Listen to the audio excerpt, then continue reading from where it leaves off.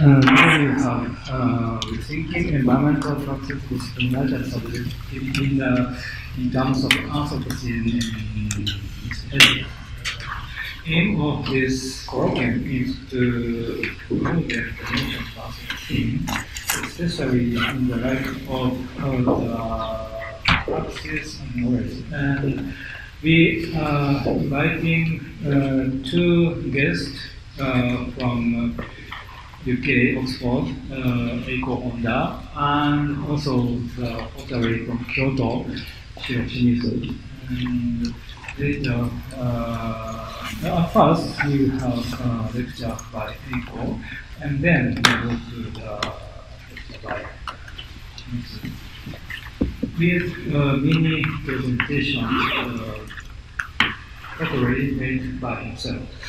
So the aim of the this uh, is uh, written in this flyer. The but uh, about the concept of Anthropocene is the geological era, geological epoch. So that means the it's different from the history. The history is the uh, thing which are done by humanity, but geological epoch, uh, geological epoch covers not only the history of humanity, but also the entire time of the living thing and also non-living thing. And the such kind of thing, the discourse of Anthropocene is the origin of Anthropocene concept is come from the scientific world and also a little bit uh, Western or the modern uh, scientific view. And it's when we are living in the globe, we are living in other context and in other discourse, other notion of the environment. So we are thinking here in Kyoto, the to investigate how the Anthropocene is uh, talked or uh, narrated in the context of the East Asia. So uh, we at first the lecture on the disciplinarity Eiko uh, Honda. She just uh, in last year he organized a uh, large workshop of the rethinking about the uh, method of especially the Japanology or Jap Japanese studies in the uh, changing world of the academic. And next uh, presentation is the uh, Shimizu made by Shimizu, and he is doing pottery work, uh, digging the soil in the in his environment and the making uh, it uh, baking. This uh, uh, work is the soil from the Kamigamo, the, uh, very near to this institute, and bakes himself. And so, do, in doing so, he is uh, investigating what is the Earth. And Anthropocene is the geolo geological era, so it's uh, deeply connected with the soil. So we are inviting him. And lastly, I will present the concept of subjectivity in the lang uh, language and perception. So the and uh, we will have the general discussion afterwards. So uh, we will pass the microphone to Eiko Honda. So please.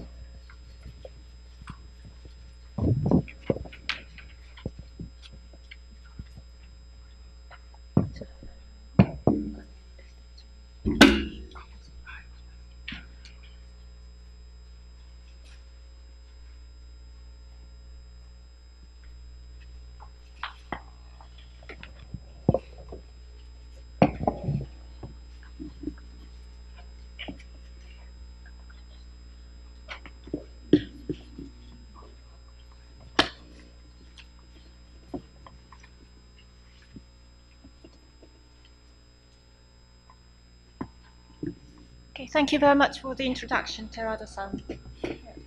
First of all, I'd like to thank the organizer of this workshop and the um, Research Institute for the Humanity and Nature the fellow participants, and the audience for having me today.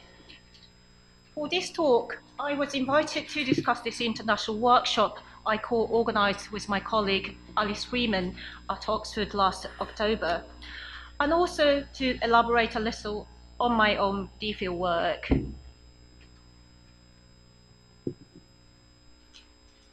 Ecologies of Knowledge and Practice, Japanese Studies, and the Environmental Humanities was a day and a half workshop for postgraduate and early career researchers, which took place at St Antony's College at the University of Oxford. The workshop was divided into two sections. The first section revolved around research-based papers, discussions, feedbacks from each other, while the second section focused on the practical environmental sustainability issues that arise in internationalized academic practice, the actual sustainability issue of our own work. My colleague Freeman was more in charge of the latter, while I was more in charge of the former, so um, therefore I will be expanding more on the first section of this workshop. The main aims of our initiative was to create a space for an interdisciplinary workshop on how research on Japan inform ecological practice that is pertinent beyond the framework of area studies and vice versa. And if we were to place nature at the core of our studies of human activities, what new kinds of interdisciplinarity and knowledge would be possible and how would we organize, reorganize our academic disciplines? Japan has indeed claimed a uniquely harmonious relationship with nature.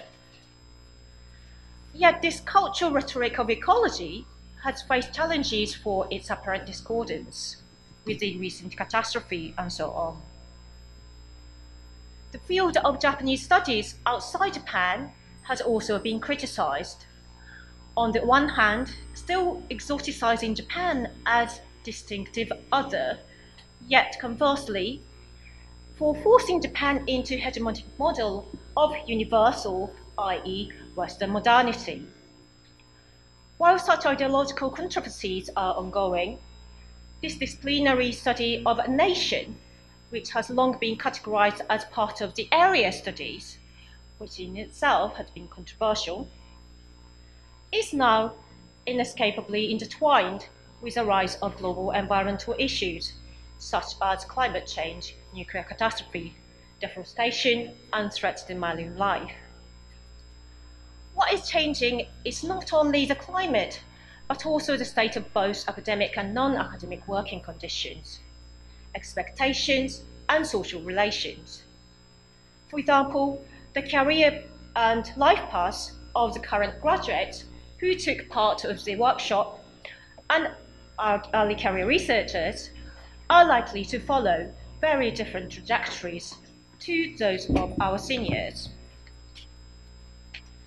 But perhaps before I go into the details of the workshop content, I'd like to unpack the wider context that I embraced in initiating this workshop, which I feel particularly be relevant to the theme of our research colloquium today. In other words, to indicate on what it might mean to think through certain disciplinarities and intellectual frameworks, such as Japanese studies, the conceptual space and geological space of East Asia, and the environmental humanities. Some issues I'm going to discuss may be familiar, and some not. Nevertheless, in so doing, perhaps we could reflect where we are speaking from, who we are speaking for, and why, when we engage with certain disciplinarity as a method of knowing. This is, of course, also relevant to the question of praxis and subjectivity, which Izumi-san and Terada-san will be discussing later today. Once I have done that, then I will introduce the workshop as an experimental case study of collective learning exercise. Its aim, the participants, the format it took place, and then some afterthoughts and effect that came out of this symposium. And regarding my own field research and background, I will try to um, weave some of the elements and factors, relevant factors, into the presentation. Now, I know that you are fond of Japanese things. Do you really imagine that the Japanese people, as they are presented to us in art, have any existence? A graduate of the University of Oxford once wrote in 1889. He carried on.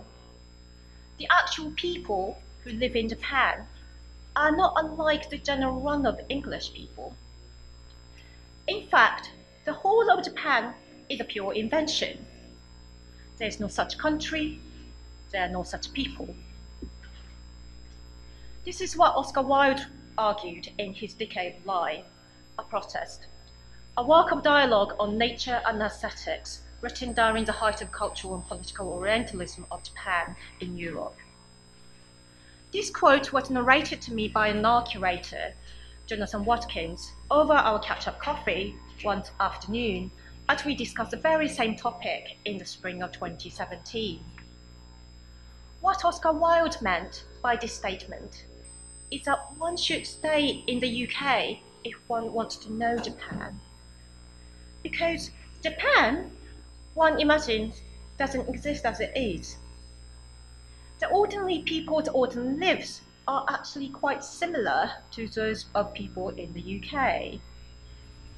The provocation made by Oxford graduate in the late 19th century still resonates with us.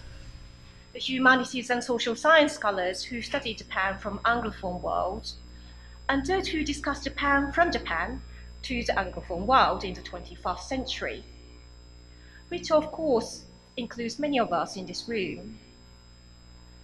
We may not be as prone as the 19th century artists to naive exoticism and Japanese exceptionalism. Yet, Wilde's remark reminds us of the fact that we tend to forget that whether if one is Japanese or English, we belong to the same world as the same humans.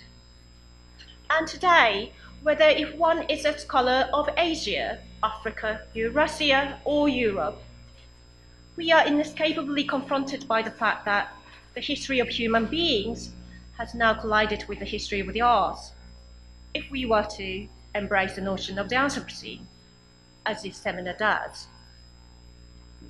The field of the environmental humanities shifts the fundamentally human centered discipline of humanities towards its entanglement with the environmental nature, where there had been no clear distinction between them. However, the disciplinarity and regional divides that intersect with the environmental humanities originate in an intellectual and practical paradigm that operates in antithesis to our present condition. They are rooted in the late 19th century academia Oscar Wilde lived through that allowed Orientalism to emerge. As much as these modes of knowing, modes of learning, continue to adapt to our present needs and provide us with a wealth of knowledge, there are at least two predicaments that hinder broader intellectual imaginations that required, required for us required for the common practical challenges in the ecological crisis of our shared planet. Shared not only among humans but also with non human subjectivities. The first is to do with the limit of nation state centered framework of conventional Japanese studies in facing a problem beyond the state management of compartmentalized land and human politics. The second is the Eurocentric character of the modern academic discipline, whose paradigm still operates in the West and the East binary, or indeed the West and the rest. The problem of, quote, the nation state as a presupposed fundamental unit of investigation and European development as a foreground and a central driving force have also been addressed by the historian of Japan and the forerunner of the field of global history, Sebastian Conrad, other quote, two birth effects of modern social sciences and humanities, end of quote, that emerged in the late 19th century. The history of the globe, I argue, is inherently environmental. These late 19th century methods of knowing are simply inadequate or possibly even outdated when one confronts with the history of humanities in entanglement with the history of the arts. The discipline of Japanese studies in the Anglophone academia formally emerged out of Japan's international relation to Euro-American colonialism in the late 19th century.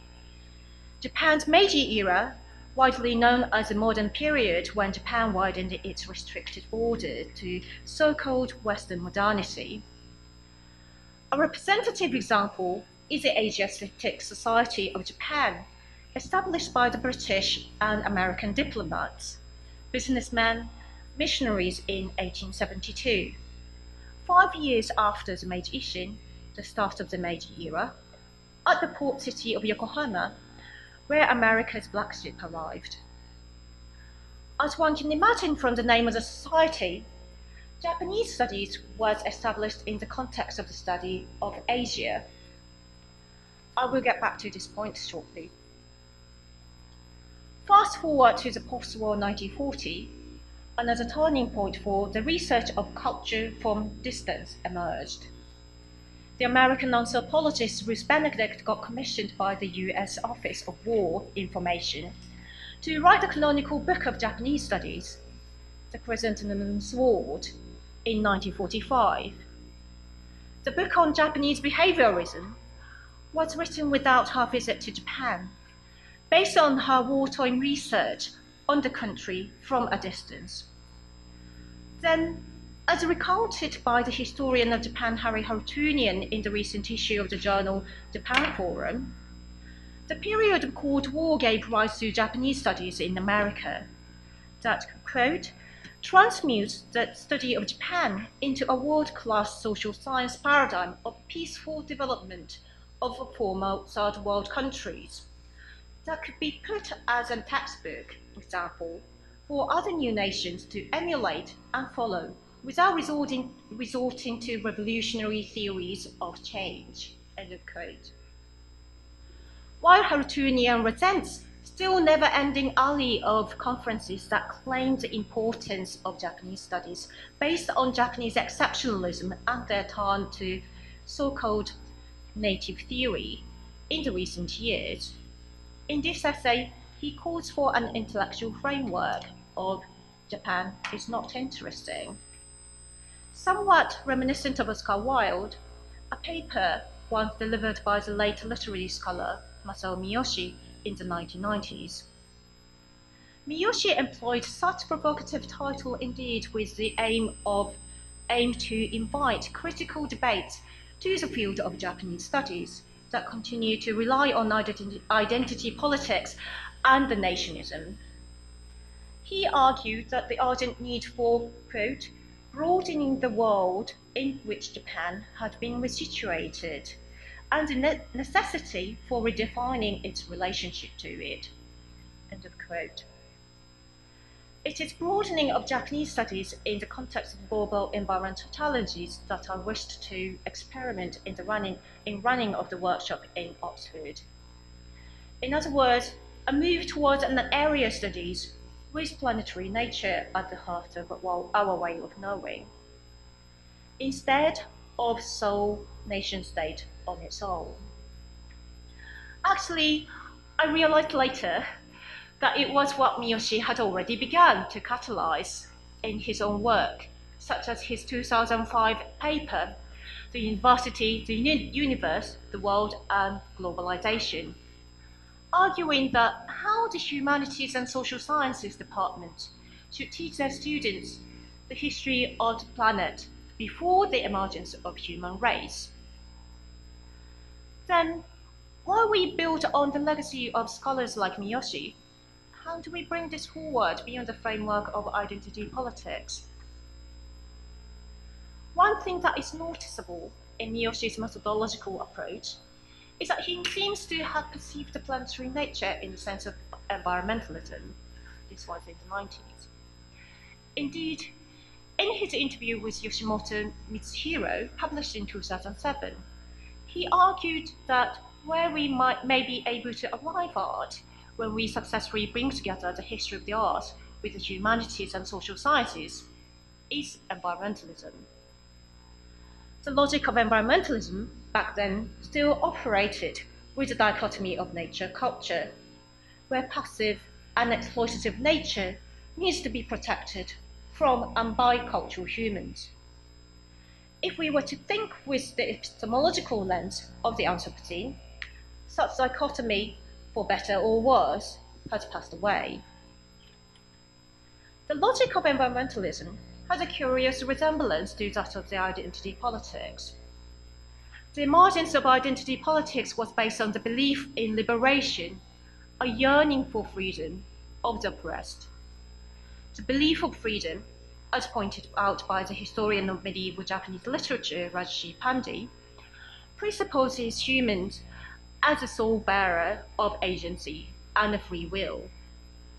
It is based on the quote, modern liberal thought that assumes behind every act there is a presence of an autonomous individual who has innate desire to strike against the norms of her society. End of quote. What if, then, humans were not the only bearers of the agency? And what if non human majorities were no longer regarded as merely passive and exploitative beings? The environmental humanities in the age of the poses the possibility for Japanese studies to move beyond the dilemma that Miyoshi posed in the age of environmentalism. Now, speaking of area studies, where does the area of Asia come from in the intellectual history of the planet? This leads to the second predicament, the place of Japanese studies in the Eurocentric nature of humanities and social sciences disciplines, whose paradigm still operates in the West and the East binary. The historian of East Asian pol political relation, Ernst Matthias Zachmann, clarified that no equivalent to such concept as Asia existed in Japan and the wider East Asia until Jesuits introduced ideography to Japan in the 17th century. The imposed naming of geography was received by Asian intellectuals with disapprovals. As such naming gesture signified an imbalance of power dynamics the stigma of the East Asia in relation to the Western Europe that stems in this historical lineage that never left our consciousness. The term has long been internalized in writing of both humanities and social sciences as a geological location and intellectual conception. In other words, to practice Japanese studies as part of the branch of area studies of Asia is in a sense, to be inherently affected by the difficulty of the politics of cultural and intellectual supremacy of the West. At the same time, it is important to remind ourselves that the notion of the West can be more of a conception of intellectual space than an all-encompassing representation of Euro-American or Anglophone world. The habitual trait of so-called the West and the Western modernity are the bifurcation of nature and culture. This is represented by the colonialism of land, of environmental nature, and of people who are perceived by the colonialists as part of the nature, i.e., so called primitive savages that could be exploited in the name of so called civilization. This notion of modernity measures human progress based on technological development distinguishing itself from pliant nature in the hunt of autonomous humans. As much as it's useful, such conception as the West mystifies what we know as the East to be an opposite counterpart culture that essentially lived harmoniously with nature. The reality is that objectification, manipulation, and exploitation of nature by humans, as well as the use of notion as, of nature as a political ideology to justify in inequalities within social within society, are clearly evident in the history of both Japan and so-called the East. Works of established historians of Japan, such as Conrad Totman, Julius Newtonus, Brett L. Walker, Ian J. Miller, Federico Marcon are good examples. The epistemology of the Western modernity is not essential to, if not simply transferable from, Euro-America. In other words, the notion of the East is a modernist project as much as it is with the West. The demystification of the East goes hand in hand with the demystification of what typically constitutes the notion of the West. This has already been done by the influential Western thinkers such as philosophers and anthropologists of science, Latour and Haraway, and more recently demystification or the demise of the West in the context of the Anthropocene have been taken further, most notably by the works of scholars such as Morton and Atin, and one of the senior scholars who kindly participated in the Oxford workshop as a respondent, Jamie Lorimer. Such ways of thinking are still rarely employed in the discipline of Japanese studies. Considering all these, what may be missing in the broader and longer narrative of Japanese studies that intersect with the environmental humanities is that, is that other kinds of modernity that existed in the history. A progress that does not base itself on the power competition of East-West, nature culture, male-female, civilized primitive, developing sciences and humanities, and institutionalized or non-institutionalized knowledge and practice. The keynote lecture at Oxford Workshop was delivered by the historian Hamaide supervisor Sho Konishi. The author of Anarchist Modernity precisely discussed this. The lecture was entitled When the Beetle, When the Beetle Ruled the Modern Archipelago, How the Social Science, Natural Science, and Humanities were interconnected on the street. It uncovered how Japanese anarchists in the early 20th century centered dung beetle in their account of universal progress and civilization, invoking public fascination with the beetle and the insect world along the way. This was indeed a part of a broader phenomenon of alignment of the humanities and social sciences with the latest discoveries of the natural sciences. It is the ecologies of knowledge and practice without a supremacy of one discipline, culture, or identity over another that may have a clue to shape both academic, life, academic and life practices of our generation. I hope to suggest, I hope to suggest in the workshop. We cannot avoid but live with the global scale ecological concerns while facing political, economical, institutional, and indeed life uncertainties. And in such circumstances, the revision of an ingrained cultural and intellectual borders of disciplinarity and our ways of knowing may be one of the significant steps we ought to take. Speaking of disciplinarity and how we may be able to move forward from interdisciplinarity to transdis transdisciplinarity, Masao Miyoshi reflected on the meaning of this terminology. Discipline means a branch of knowledge studied in higher education.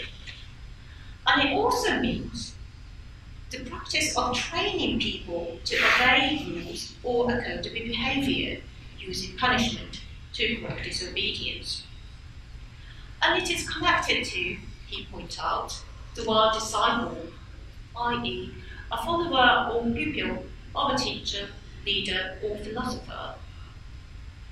What then, I wonder, might happen to one's method of knowing if one was to refuse to be a disciple, to be trained to obey rules with potential punishment?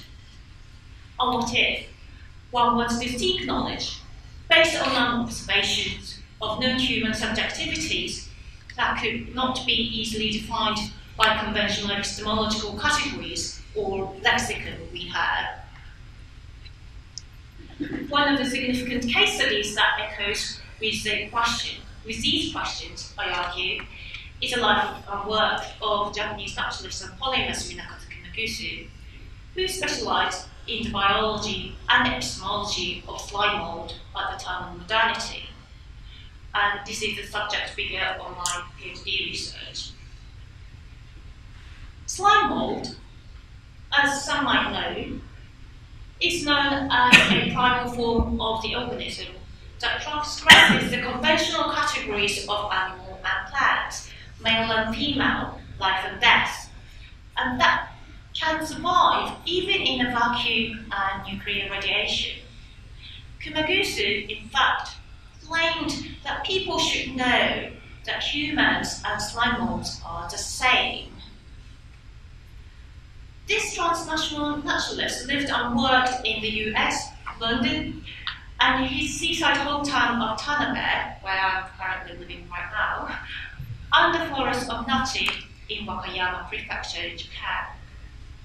Quote, I meditated on the ideas of freedom and independence since the age of 16, 17, 16 to 17. I escaped schools finally and have been learning my, by myself until now. End of quote. He once recalled. Kumagusu never completed any higher academic degree or fully belonged to institutions. Yet he was a significant figure in the Anglophone intellectual debate, who made an extraordinary contribution through 51 articles to the scientific magazine Nature during his lifetime. While he called, called himself a Shokubutsu Dakusha, or a naturalist, he also extensively analysed the world's studies of folklore, occult science, animal intelligence, and sexology, as well as the philosophies of ancient Greece and Buddhism, to name but a few, crisscrossing the cultural and intellectual boundaries. Writing of his mode of knowing as part of global history at the time of modernity, perhaps could change the trajectory to how we may understand and act the present. The workshop Ecologies of Knowledge and Practice was indeed an experimental exercise I wanted to run to seek a new possibility in Japanese studies and the environmental humanities by reactivating the mode of knowing symbolically based on slime mold. The workshop brought together 17 postgraduate and early career researchers within the humanities and the social sciences through an international open call and we were joined by seven invited senior scholars and practitioners working within the UK. The presenters' research engaged aspects of Japan as a significant case studies within the wider transnational or global context of ecological concerns, instead of looking at Japan for Japan's own sake. I should perhaps note that quite few of us had working experiences outside academia before we started our postgraduate studies. Two of them were lawyers, few former architects, an artist, gardener, none, and myself included, curators. In other words, many of us think, I think, had an understanding of intelligence or intellectuals as something not, not just exclusive to academics. The senior scholars are practitioners who acted as our respondents were a mix of Japanese, Japan specialists and non-Japan specialists. While all of their work were relevant to concerns of the, environment, of the environmental humanities, I think the mixture was particularly important because we wanted to gain insight from both inside and outside of the discipline of Japanese studies, as well as the ivory tower of the academia. The main aims of this gathering was, are mentioned here once again, to create a space for discussions on how research on Japan informs ecological practice that's pertinent beyond the framework of area studies and vice versa. If we were to place nature at the core of our studies of human activities, what kind of new, what new kinds of interdisciplinarity and knowledge would be possible, and how would we reorganize our academic disciplines? With these aims in mind, we grouped the presenters into five panels based on the key interest pertinent among the participants, so that we may be able to open dialogues with multiple approaches to the same concern. Each theme touched on an aspect of human nature entanglement. Moreover, I consciously avoided using terms like post-war or post-311 as an overarching themes for each panel. All of the panels more or less have a mixture of papers looking at various periods of his the history. This way, we were able to see continuity of similarities and differences of concerns across time and space. Each panel of these 20 minutes presentations was followed by 30 minutes discussion, initially often by respondents, followed by discussion among ourselves as well as the audience.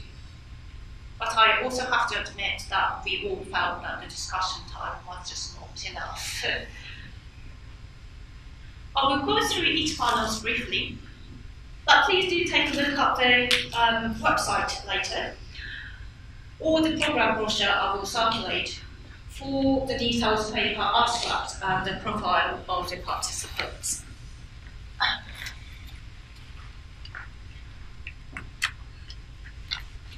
Because my summary won't do justice to the depth and quality of each paper at all. The first part, material cultures of nature, explore the cultural aspect of nature in the material gestures of making, in consumer culture, crafts, and architecture, starting from the Edo period up until contemporary time. The second panel, communities and post-colonialism, unpacked colonialism and migration issues within what is understood as the land of Japan and the Pacific Ocean, and how it affected forms and communities in consideration to human and environmental resources, sustainability, and power relations. We had lunch break in between, and uh, it was um, it as much as uh, it's not necessarily a formal part of the program itself, but I feel that uh, it was one of the most significant space for um, unconstructed time for discussion.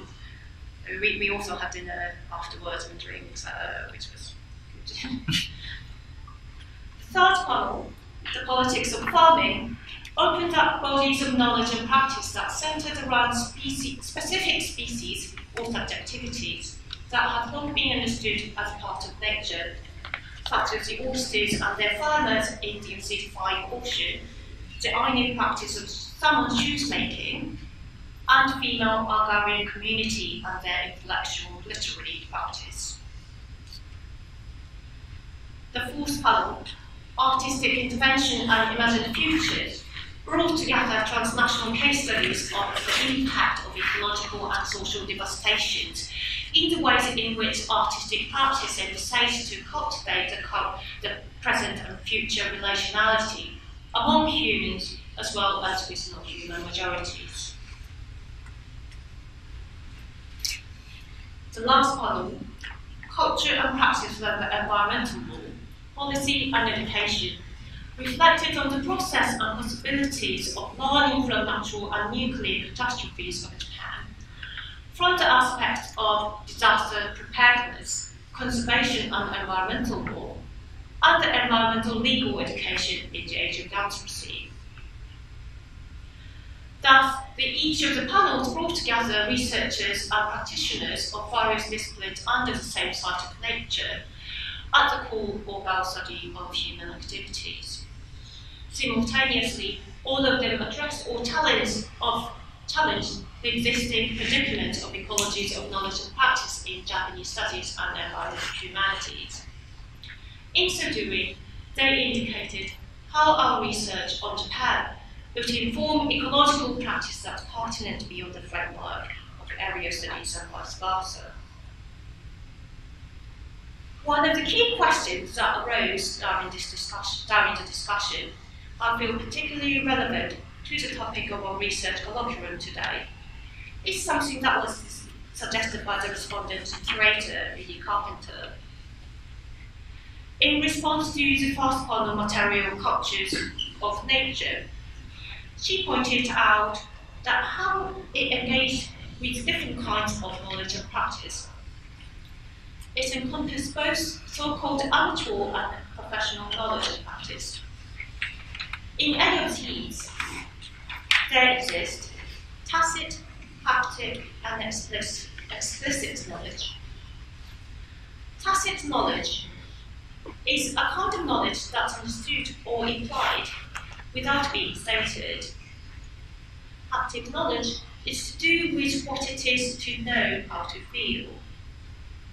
Explicit knowledge is more to do with knowledge that you can write down and quantify. Ellie asked, how do these work in visual cultures, craft, and architecture? But I think this issue of unquantifiable knowledge and practice is hugely pertinent to any of the panels, any of the human activities, and the ways in which one know the world.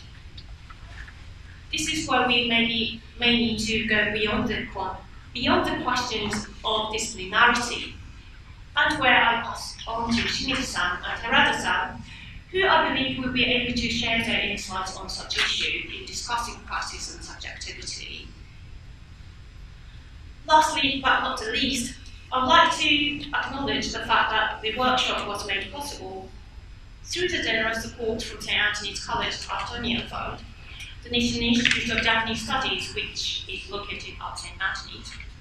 The Japan Foundation London TORCH the Oxford Research Centre in the Humanities and our friends, colleagues and mentors. It was in, in partnership with Oxford Centre for Global History and TORCH. It was run in association with Japanese History Workshop and the Oxford Environmental History Network the latter is a platform of scholars working on aspects of environmental history regardless of their home disciplines or their area of specification to encourage cross-disciplinary collaborative learning within Oxford. This is currently being set up by my DPhil cohort, Eric Mercer, Peter Copen, and myself, with support from historian Derek Charters and Rob Lilith. I'd also like to thank the Oxford Sasakawa Scholarship, Toshiba International Foundation Fellowship, Japan Foundation Endowment Committee Research Fund, Sasakawa Japanese Studies Postgraduate Studentship and Historian Memorial Bursary. Without their generous financial support, neither my research at the university nor in Japan I am conducting right now would have been possible. Thanks for your attention.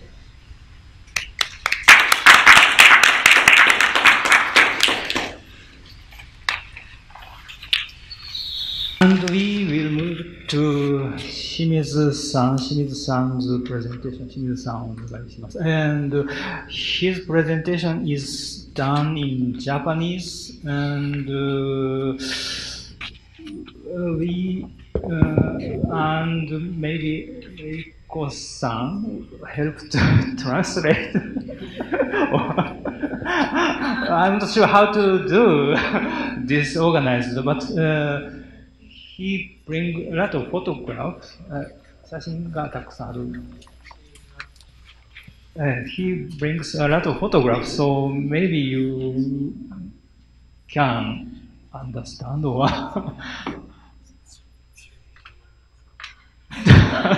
and later, and this mini presentation, and later uh, we move to the uh, table and えそれで解説をしてくれる感じかな。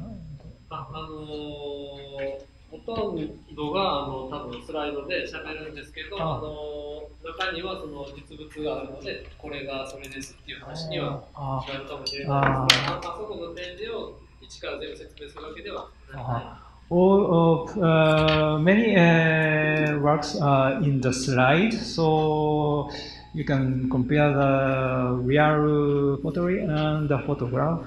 And but some are not uh, explained in the slide, so he will explain uh, by using the uh, very uh, work. So, in Japanese. 本当になんか申し訳ないですけど、 あのー、本田さんの話も、あの、すごく気になるんですけど、全然わからなくて、お話ししましょう。えっと、あ、あの、清水史郎と申します。えっと、よろしくお願いします。えっと、それぐらいは、あの、自分で言います。あの、my name is 白清水。うん、えっと、よろしくお願いします。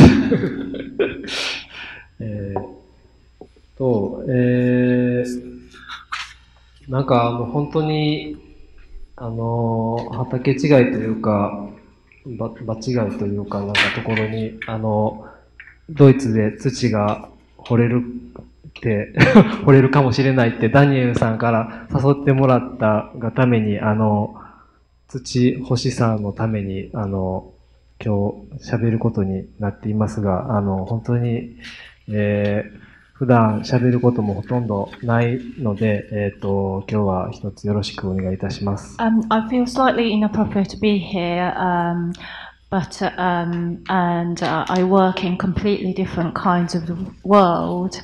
Um, but um, Daniel said um, he might invite me to Germany, so uh, I, um, it was my desire to uh, hold that soil.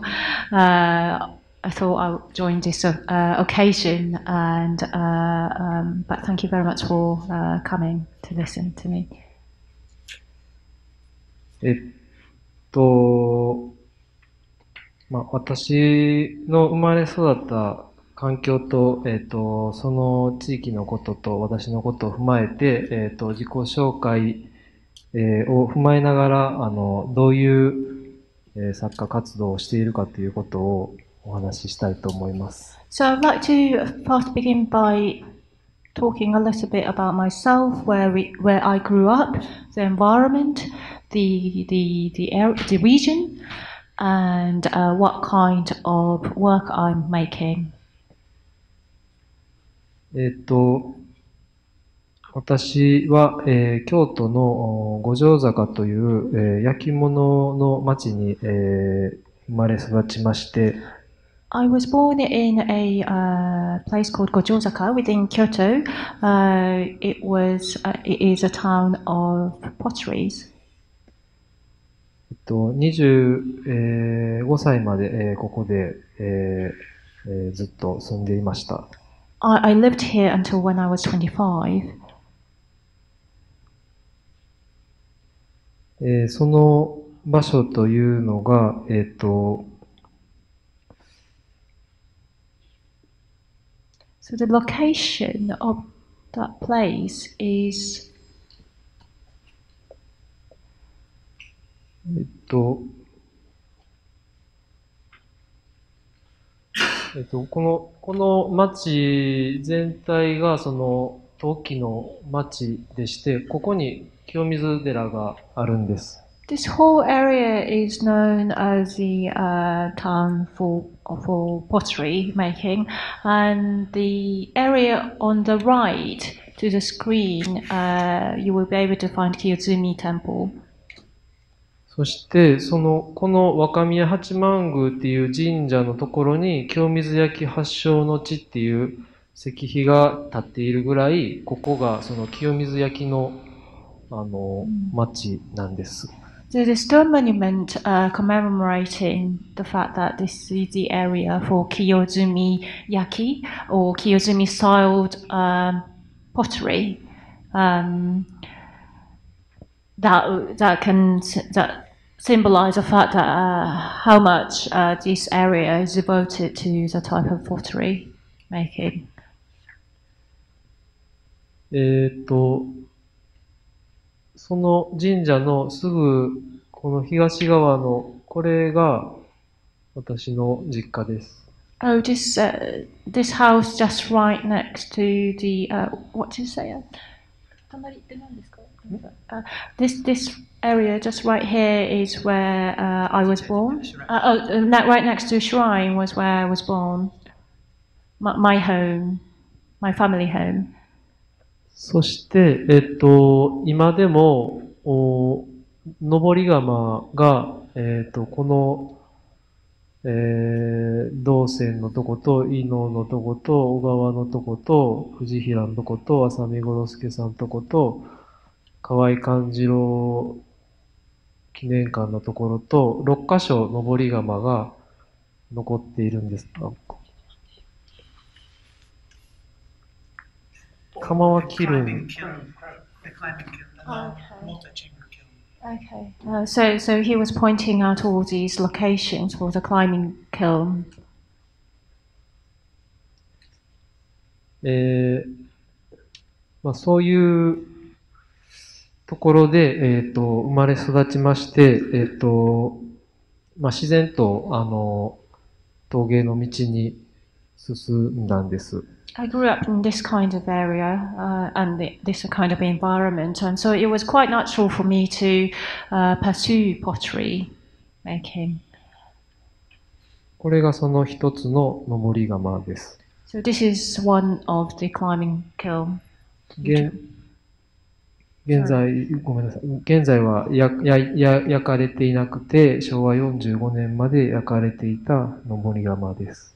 So uh, this is no longer being used. Um, it was only used until Showa 45, year 45. です。で、えっ、と、その登り窯に、えっ、と、なんていうんですかね、えっ、と、共同で作家が作品を入れさせてもらうという窯、登り窯があって、 Uh, so one of these uh, climbing kilns is where um, collective of not collective but uh, several artists can well you you bu- burn their work at the same time. そこに、えっ、と、入れさせてもらってたのが、の一人が、あの、祖父なんです。この写真が祖父なんですけど、その地域の登り窯の前で写真を撮っている。One of the people who are using this kiln collectively with other people was my grand grandfather.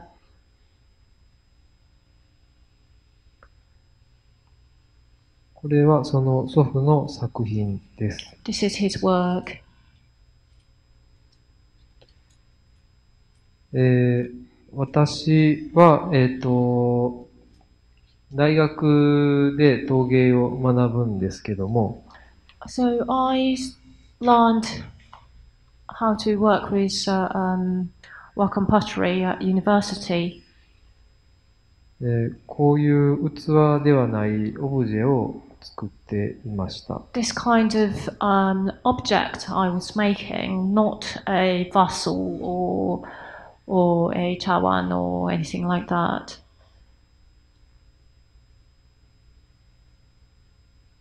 この時は、えっ、ー、と、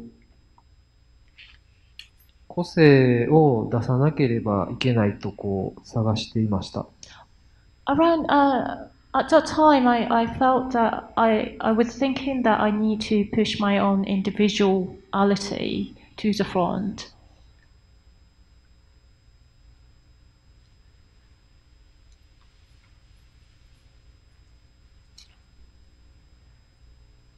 で、えー器を作り出すと、When I started making balls, 自然とその気持ちが半減していったのですが、I naturally began to began not to feel that way um, once I started started making these balls. なんか自動になってしまっている。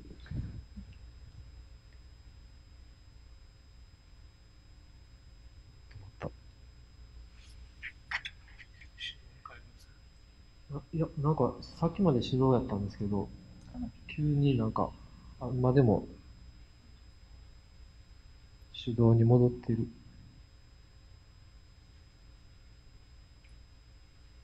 これは、あの、現代アートの作品を展示してほしいというグループ展の依頼があったんですけれども、This was for the occasion of a contemporary art exhibition. I was asked to present a work of contemporary art.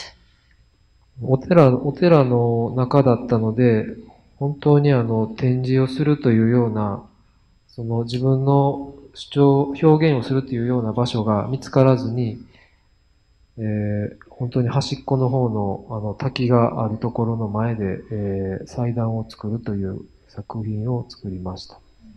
But it, it, the exhibition locate space was inside of a temple, so uh, for me it was very difficult to find uh, the right place, um, a kind of space where I uh, could use to uh, present my own my own work, my own individualities, or or, or um, so instead of finding a, a location in the middle or anything, I ended up finding a space in front of a uh, waterfall uh, towards the edge of the space.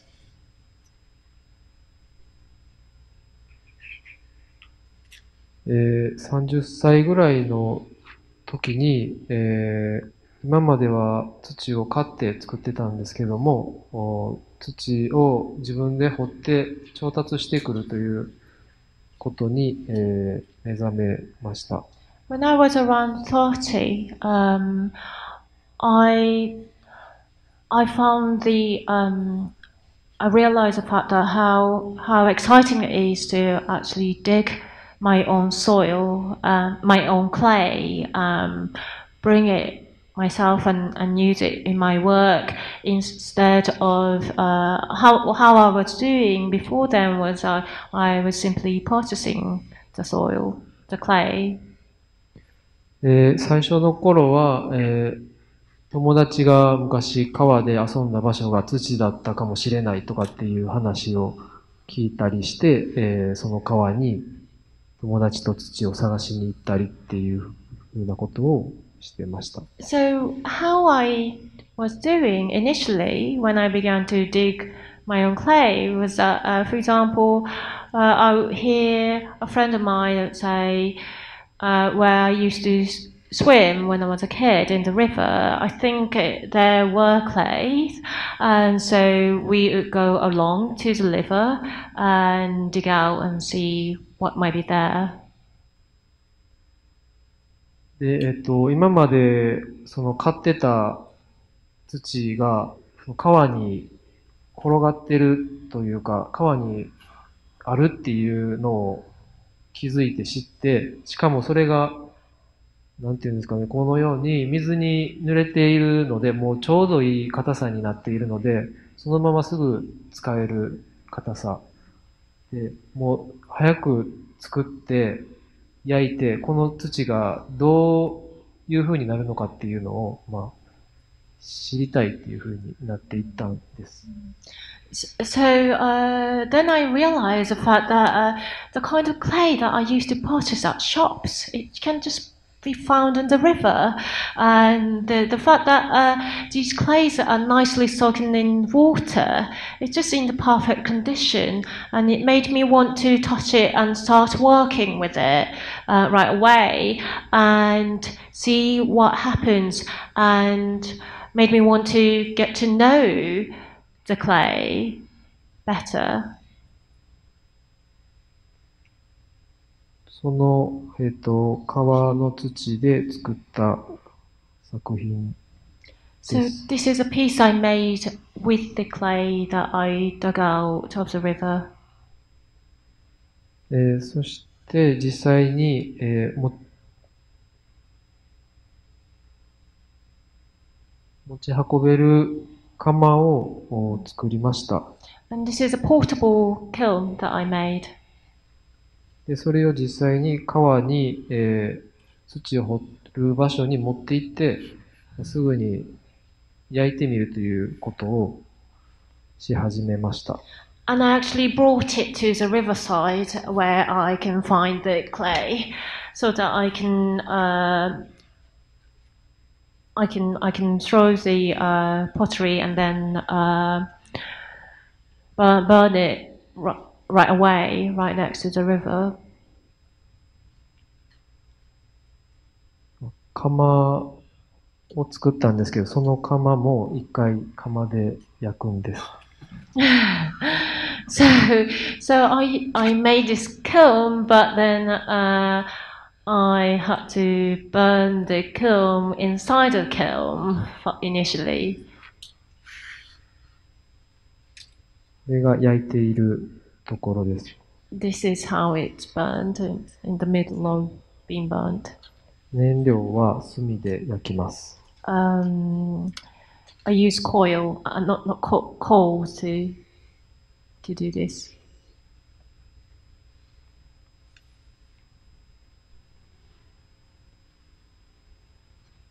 で、その川に行って、朝土を掘って、えー作って、お昼ご飯食べながら乾かして、もう夕方にはもう焼いて、その焼いたもので、えっ、と、実際にお茶を立てて飲むっていうような遊びを何度かしていました。Mm, So um, one of the plays that I I would often engage with is that I, I would go to the river in the morning to dig out the dig out this clay. And would put them into shape, make it into shape, and have lunch and dry it while we have we are having lunch, and then in the uh, late afternoon I, I I burn it and kiln, and then in the evening we'll have a tea ceremony with that bowl that I made.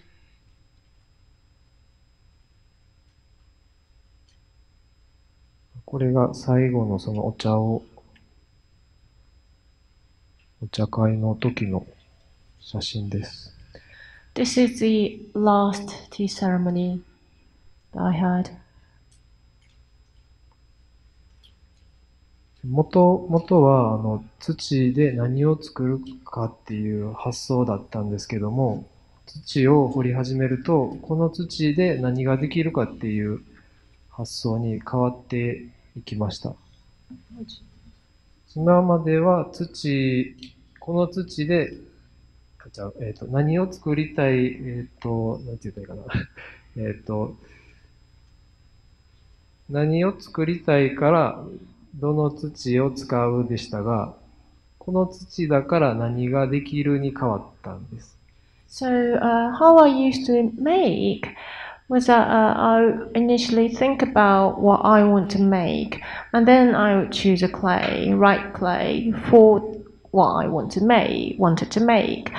But instead, uh, I moved toward a process where I would think about what could I make with this soil, um, excuse me, with this clay. これは、あの、 お酒のためのぐい飲みととっくりなんですけども、さ酒カップ This is the um, this is the uh, uh, Japanese cups and a um, bottle for drinking sake. えー Special term for it. I can translate.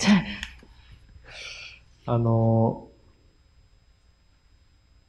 とっくりなので、あの、膨らましたいんですけども、この将軍塚で掘ってきた土が、パサパサで、まっすぐにしか弾けないんです。So, um, the Japanese term tokuri is a, a little sort of, uh, it's not colorful, but um, bottle or glass to, to, to carry sake, and uh, it's supposed to have a shape, round shape. Um, but this clay that I found from which river was it? あどこからどこで見つけた？将将軍塚っていう将東東山区のあ山山です。 Okay, uh, so this clay that I I found in um, in a mountain called Shogunzuka in Higashiyama area of Kyoto is rather dry, um, so I couldn't shape it into round shape. It would only stretch into straight line. でこの面を削ってるんですけども、 As you can see, I um,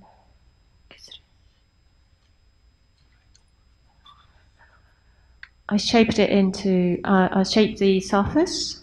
Uh, no, um,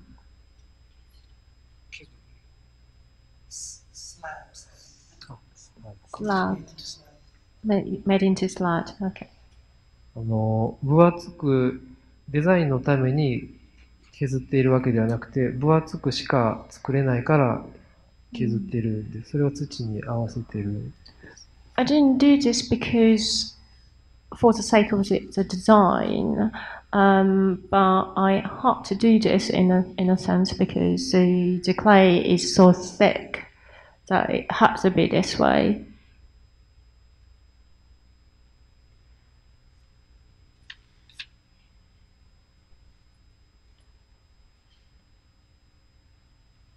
えっ、と、土を掘っているっていうことを、あの、話していると、えー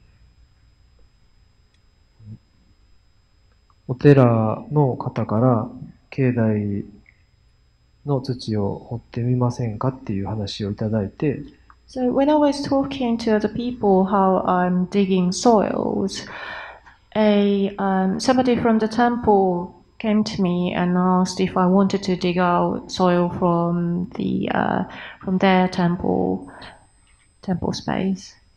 で、その土で、その副住職の引き出物、結婚式の引き出物を作ったりもしました。 And with those soil, I've made a wedding gift to the wedding of uh, for the wedding of the uh, Fukujishoku priest, not priest, priest. No, um, the vice monk or bosa, Jushoku.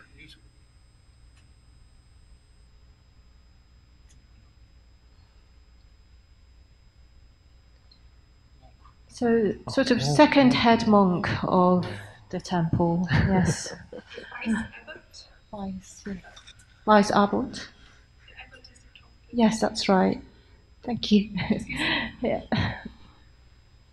で、そこの、今度はお寺の、あのー改装をしはるっていうので、えー、タイルを作ってほしいっていう話をもらって、屋根に、瓦の下に必ず昔はや土を引いてあるので、その土をもらってタイル、タイルにするということをしました。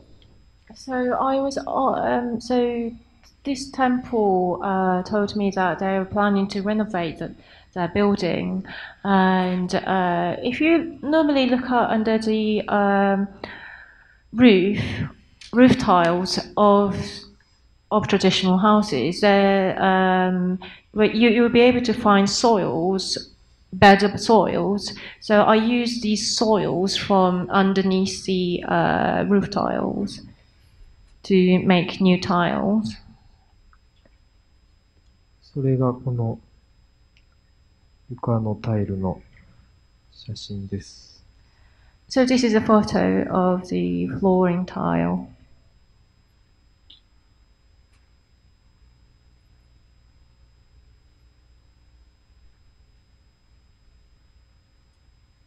え土を探している、土を掘っているという話をすると、えっ、と、いろんなところから話をいただいて、えー、砥石を掘ってはるところから探してもいいよと言っていただいて、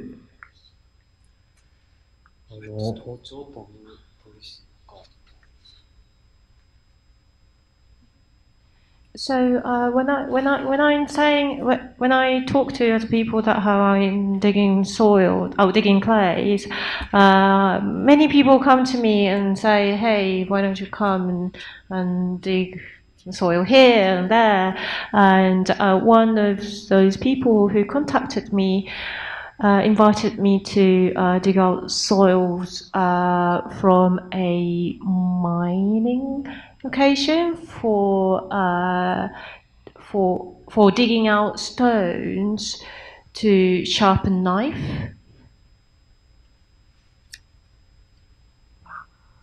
その砥石の 土で作った作品です。So this is a work that I made out of that clay. あの、砥石の土は、今までちょっと喋ってたの中にもいくつか、あの、ここにあるものがあるんですけど、砥石の土は、あの、これです。で、前に、あの、写真とは違うんですが、えっと、砥石の土で作った作品も少し置いてます。So here you can see the uh, clay from that mining location. もしよ If か you っ like to take a look later, もしよかったら後でまた見てください。please do take a look late, look at them later. で、たまたま、あの、庭でコンポストのための穴を掘っていたら、あの、土が出てきて、それも使、使いました。これがその穴なんですけど。So one day I was digging a hole in my garden to uh, put compost in it, and and there I found another other kinds of clay here. これは、そんなに、えっと、なんていうんですかね、あの、この形にしかあまりならないというか、立ち上がらないような、あの、土なので、こういう風な作品にしています。So this was a clay that wouldn't stand up. Um, so you wouldn't you wouldn't shape into any other kinds of shape. So uh, I ended up um, shaping them this way. これもその庭の土なんですけども、えっと、もっと丸だったんですけど、それが焼いたら、こう、くしゃっとなってしまうような土なんで、こう、くしゃっとなってます。So um, this is also this was also made out of clay that I found from the garden, and I originally shaped it into more spherical, round shape, and but once it came out of the kiln, it just got squashed during the firing process. で、えー庭で、えー窯をいろいろ作り変えて、えー 何個か窯を作りました。 Mm, so I, I, I experimented with different kinds of kilns, and I, I made several of them in the garden.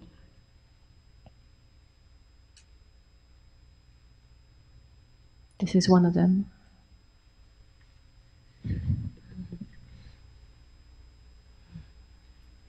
This is soil. Uh, it, it reads clay from construction site. 京都には土がないと言われているんですけども、えー People say that there's no clay in Kyoto. だから京都で土を掘っているという陶芸家はほとんどいないんですが、So there's um, almost no potters who say who say that I'm digging soil, I'm, I'm digging clay in Kyoto. えー考古学の発掘をしている先生が、発掘している時に粘土がいつもあるというふうにおっしゃったので、But a um, archaeologist professor uh, told me that uh, whenever he's digging uh, in his work, he always finds clay. それで京都市内の工事をしているところを、あの、覗くようになって、土があればお願いしてもらうようになりました。So I decided to go around Kyoto City and peek into construction sites. And whenever they, uh, whenever it seems like there's clay, I will ask them to spare them, spare some of them to me. これは、えっ、と、東山区の今、フォーシーズンズホテルが建った場所、その工事をしているときに土をもらいに行きました。So this is uh, just right across the road from the Four Season Hotels in Higashiyama area.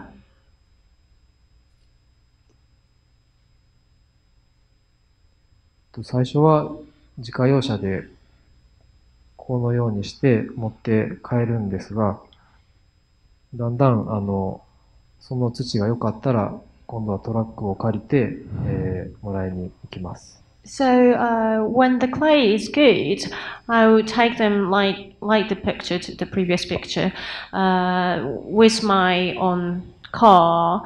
But if the soil is so good, I will return to the site with a truck, with a pickup truck.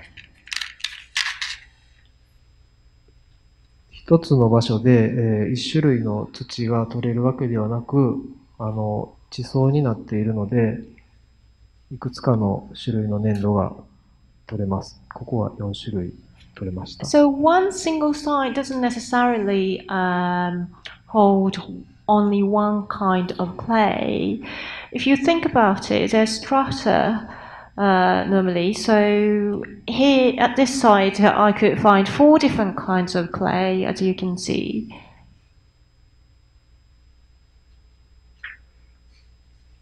これはその土をもらっている時の、本当にあの工事中なので、あの、土を捨てに行ってはるんです。あの、10トンランプのトラックで、どんどんいっぱい並んではる中にこう並ばしてもらって、自分はまあ、もらいに行くという。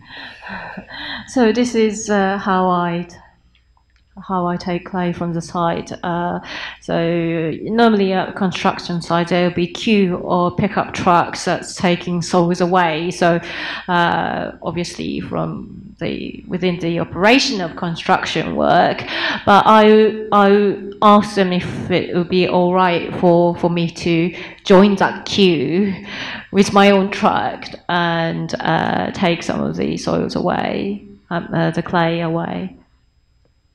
あの、乗せてもらうのがあまりにも1分もかからないので、何往復もしたいところなんですけど、この下ろすのに何時間もかかるので、何回もは2回ぐらいしか行けないんです。So when when I take the soil, when when they lo- when when I load the soil, it takes less than one minute. So it's quite tempting uh, that uh, maybe I could go back and back again and again to take loads home, but it actually takes hours to load them off back home. So usually I can only do two loads.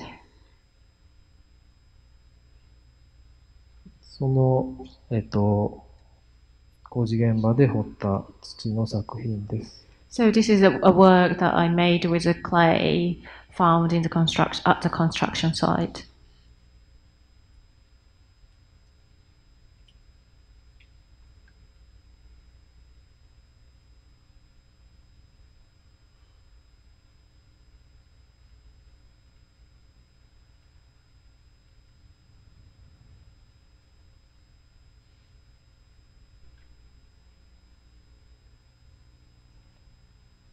This it, it reads clay from local area. でこれは、あの、松原警察署といって、あの、本当に地元の人にしかわからない地元の警察署があるんですけれども、そこの工事現場 So this is a construction site of uh, Matsubara Police Station, which uh, probably only people who live live locally will be able to tell where that is. まあ今までで一番あの臭くて 整形できなくて物にならないというあの土なんですけれ It ども、was the smelliest clay that I ever encountered, and it was the hardest to work with. It wouldn't shape into anything at all. 昔の地図を見ると、鴨川がその大和大路通りに流れていたっていう地図があるので、まあ、きっとその場所は鴨川だったんだろうな。だからこう、臭いんだろうなっていうことが後で分かりました。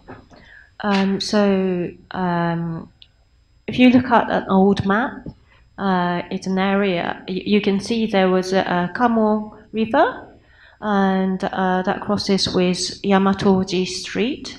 And so, based on that, I'm guessing that uh, there used to be the Kamo River that uh, that's causing the really bad smell. いろんなところから土の情報が集まってくるように本当になりました。So as I, as I, as I work this way, um, all sorts of information to do with clay began to come to me.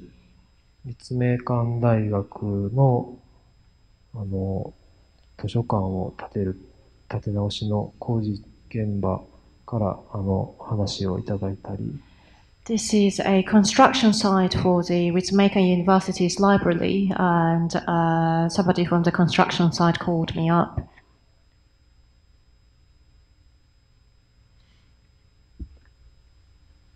これは私の工房です。 Uh, this is my studio. 土壁も土なんです。 So tsuchikabe is a kind of wall made out of clay. It's a very traditional uh, Japanese uh, architectural um, element of the old homes.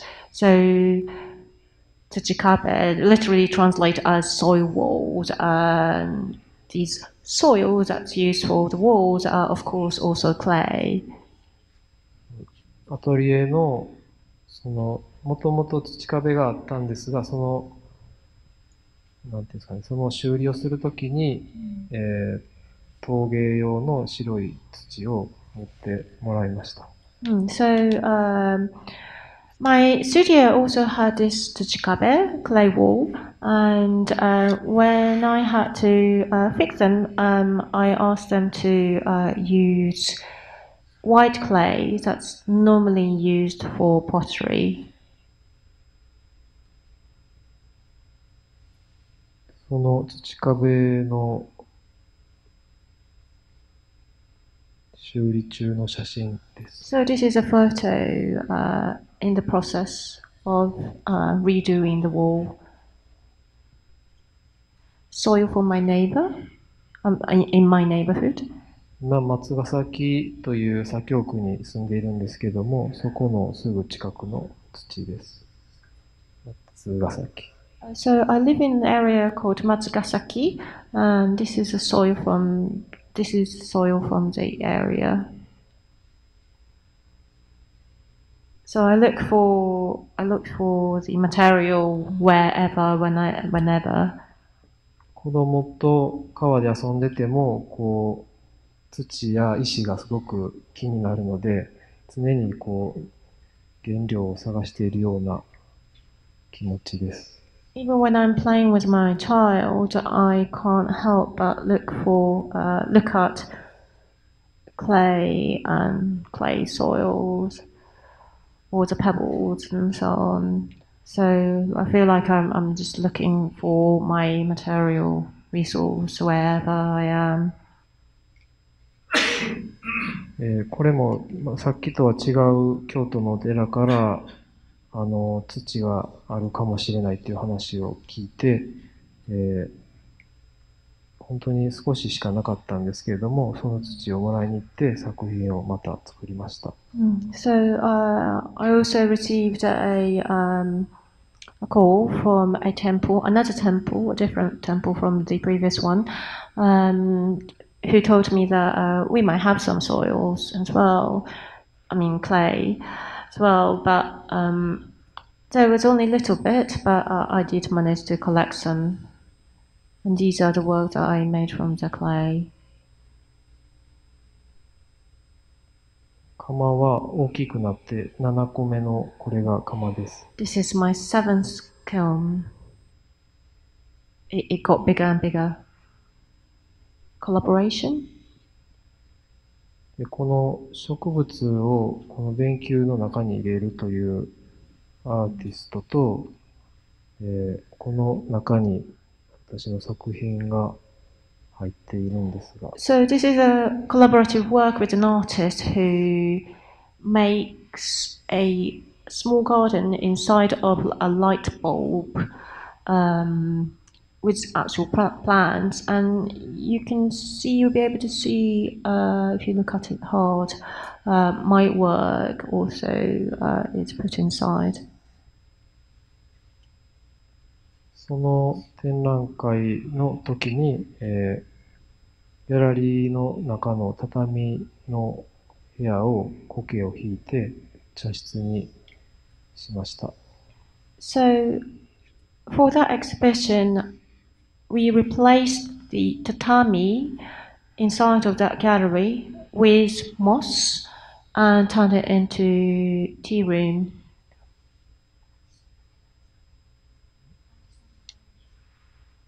その植物のですかリプランター、リプランター村瀬。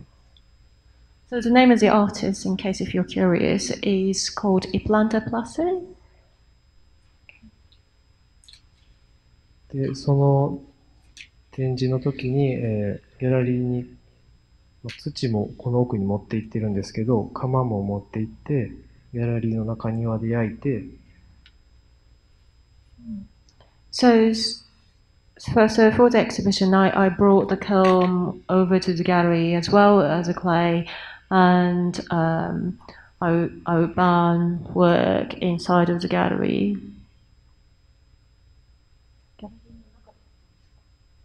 はい。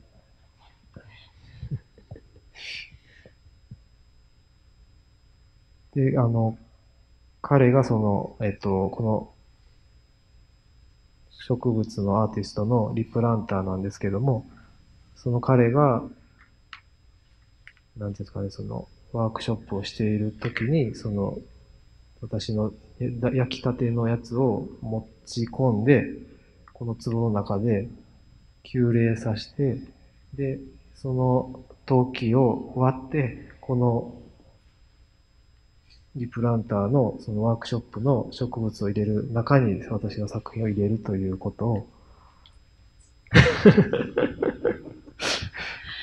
He's explaining the process. It's rather complicated. Yeah, um, I'll try to explain it. So, um, so when this artist we replace the plant inside of the uh, glass ball, if I understood it correctly, um, he would uh, place the freshly made um, work of myself that just came out of the kiln into a vessel to cool it down, uh, but then break it. Quash it. Um, uh, and then break it into pieces and put it into the uh, glass bowl, glass dome.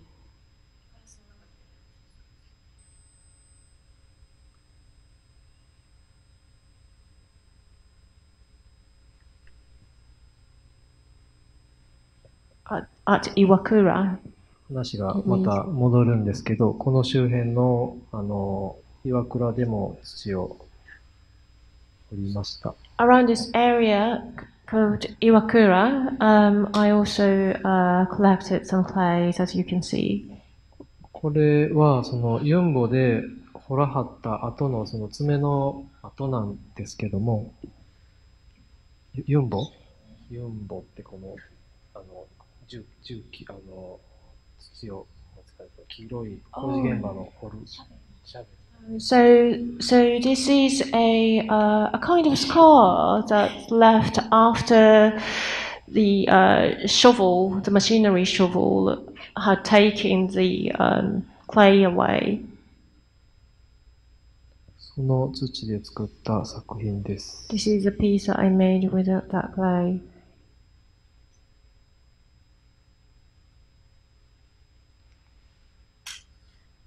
これはその土で作った作品ではないのですが、そその時に、えー作ってた作品です。This is not a piece that I made with the clay, but uh, it's something that I was making around at that same time.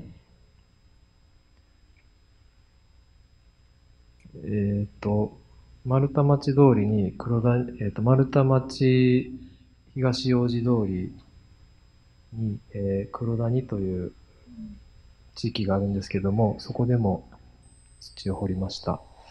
Around the Maruta Machi West Street, uh, 東王子と丸太町。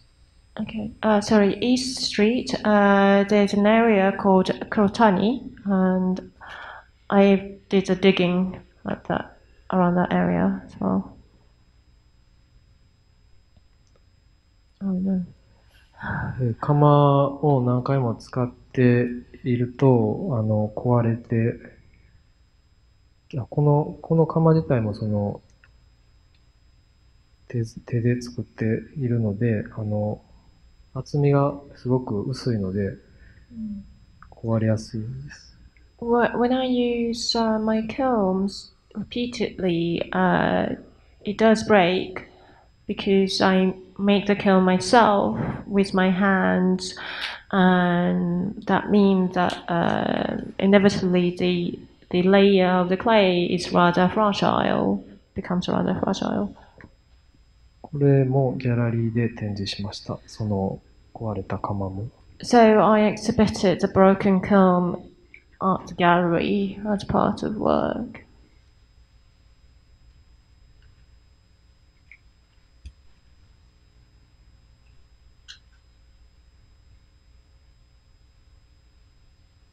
えー佐賀の方でも土を掘りました。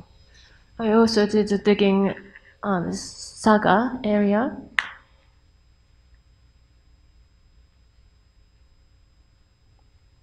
これもギャラリーの展示です。佐賀の土を多く使ってます。This is also the gallery exhibition, and I used um, for many of these works. I, I used Saga clay.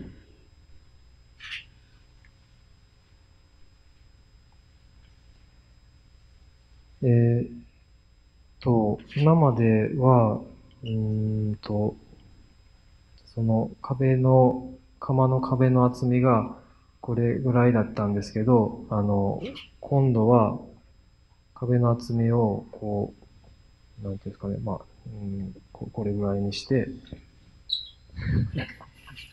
まあ、10センチか15センチぐらいにして、3倍ぐらいの厚みにして、まあ、作りました。Okay. Um, until this point, um, my kiln was rather thin, so around this much. He was showing me with the hand gesture, um, but I multiplied the thickness of the kiln そのやり方、from this time on. そのやり方は、えっと、レンガがなかった時代の末期の時もそうですし、もっと前もそうですし、その時の作り方です。So this method of making of kiln is around the time uh, uh, beyond the time before the time that the uh, bricks existed.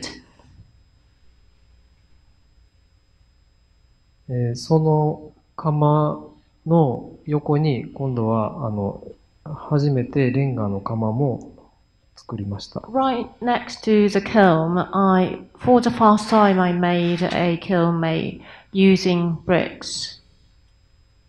この窯から、えっと、炭が燃料ではなく、えー木を燃料として使いました。Mm. So, with from this time on, um, with this kiln, I began using wood instead of coals as a way to burn. で、その燃料を、えっ、と、大工さんが、えー何人かが、4, 4人ぐらいが、えっ、と、えーもらいに行ったり、持ってきてくれはったり、まあ、とにかくその、大工さんから燃料を、いらない燃料をもらって、それで焼いています。 Mm. So, uh, I typically use use wood that's been given by carpenters. Uh, there are about four of them who kindly uh, bring them to me from from their workshop or from various places they find.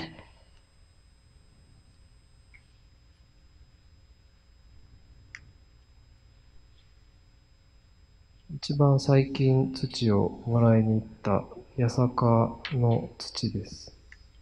So this is the um, most recently, most recent occasion where I went to uh, pick up some soils, uh, clay.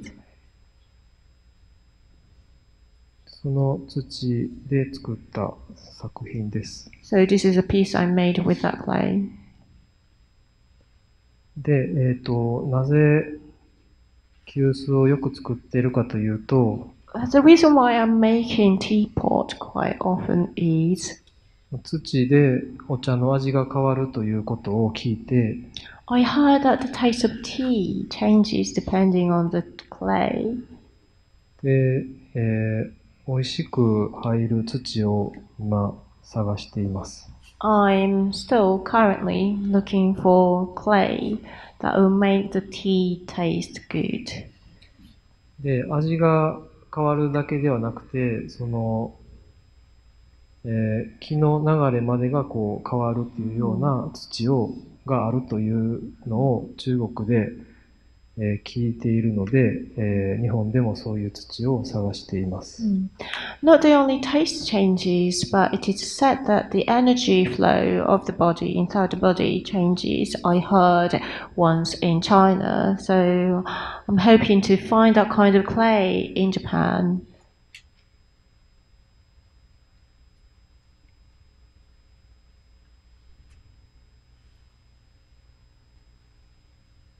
と、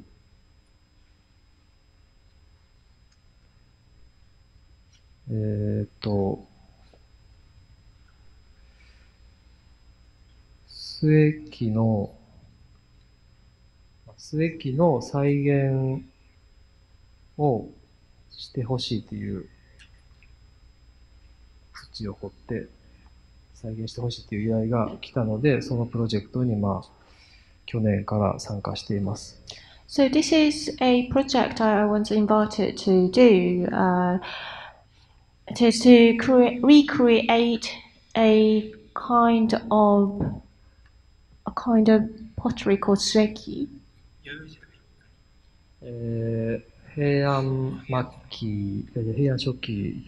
Which existed towards the end towards the end of Heian period. 須恵器自体は古墳時代です。古墳時代平。5世紀、6世紀。あ、そうです。Sueki itself actually existed around fifth or sixth century.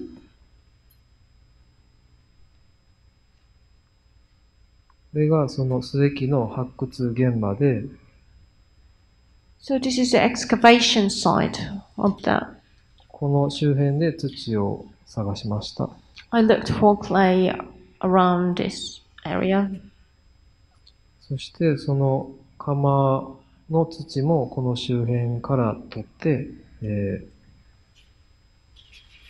土の窯を再現しました。I also recreated a kiln, a kiln using soil from this area, as you can see in the photo.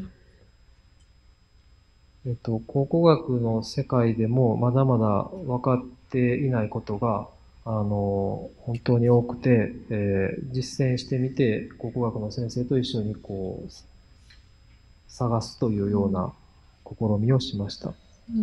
There's so many things that still cannot be explained or, or uh, be understood in the field of archaeology as well. And so I worked with an archaeologist for, on this project, um, recreating these things together with the archaeologist. 昔の焼き物が、えっ、と、日本にどのように入ってきたかということも、えーはっきりとはまだ分かっていないので、こういう、えー取り組みの中から、えー探していくことが大変勉強になっています。So, how ancient potteries were even introduced to Japan is not even um, clarified. Uh, We don't we don't even know yet that those facts yet. So, by engaging with this process, uh, uh, it's been a really great learning process. この時は、えっ、と、電動ろくろとかないはずなんですけども、 So, of course, at that time, I think there was no electronic. Uh, look トリック wheel, pottery wheel. です。えーすごく薄くて、あの、現代の技術技術よりも高い技術を持って作っておられたのが、その発掘からわかります。But from the evidence that one can find from the excavation, people at that time had a, such a high skill to be able to, to make a very delicate and thin, thin um, uh, pottery. まあ、なので、これからもこのプロジェクトは続けていこうと思っています。 So I'm hoping to continue this project. えっ、と、本当に、あのありがとうございました。Thank you so much for listening. あの、どのようにして土ができているかっていうようなことも、あの、まだまだ分かっていないですし、えっ、と、せっかく、えー地球圏さんと関わることができたので、えー地球のことをもっともっと、おいろいろ教えてほしいなと思っております。So I don't even know how soils are made, clays are made, even. So I, I really very much like to know more.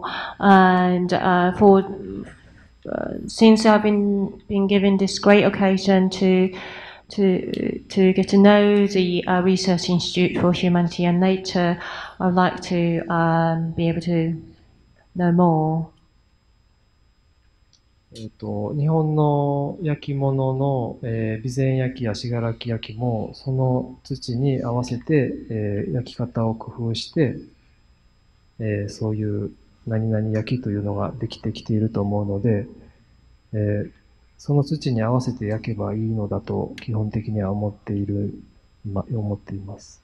Um, so, for example, um, quite well known Japanese potteries such as Bizen or Shigaraki um, potteries, uh, these were made um, based on the soils themselves rather than the other way around. So, I, I really believe that uh, I should just continue working with the clay, um, based on the clay, making things because of them rather than way, the other way around. ですので、あの、 もし土があれば、あの、土があるよと連絡を、もう半分冗談ですけど、半分本気なんですけど、連絡をください。If you happen to stumble upon interesting and good clay, please do contact me on the number that you can see you can see on the screen. Uh, half I'm half joking, but I'm half serious. 今日は本当にどうもありがとうございます。 Thank you very much for listening. And we should uh, uh, finish today's uh, colloquium uh, exactly in 5 uh, p.m. because of the next uh, event in, uh, in Kyoto's downtown. So we have uh, one hour and 20. Yes. So uh, my presentation is about uh, environmental subjectivity seen from viewpoint of language and perception. And the content is uh, this. Uh, at first, uh, I we will see the Anthropocene concept and problem of subjectivity and overview, and especially the uh, problem history narrative, and then to switch the scope on the language and the subjectivity, especially in the Japanese term, several Japanese terms uh, which was argued in RIHN in recent year, and then uh, discuss about the voice of middle uh, and to following that, uh, the activity and passivity of perception image is argued, and then uh, the problem narrative in history and evolution. So, uh, first answer was posing concept and problem subjectivity. The already it is it was argued in the previous lectures. The Anthropocene concept is the concept which deal with the entire process uh, which covers the more than the 4.6 billion years and the cover not only the human beings but also the things and living beings. And in so the how to narrate the entire process of uh, the uh, historical term or the evolution you know, term is argued uh, because the history is the notion dealing with the human incidents, but evolution is the uh, process in which the entire living being is uh, involved. So the in that uh, sense, the Anthropocene concept, the rise of the concept of Anthropocene require us the other uh, subjectivity because the history is the when we talk about history, the his, uh, subjectivity of humanity is the center, central theme of such kind of narrative. And to arguing that, uh, we will begin with the language and especially how the language uh, subjectivity is uh, differ from language is the to be concerned. The term hottokenai and uh, tamerai and makikomare is uh, emerging in the in recent uh, uh, discussion concerning the uh, environmental issue, especially here in Rin.